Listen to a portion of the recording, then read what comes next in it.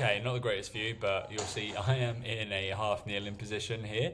Okay, pretty much across. So almost like we're doing a three point start or a sprint start or something like that. You've seen those athletes do those things. Um, we've just got a med ball and we're going to project forward. So we've got this hip is going to be getting a bunch of force on that.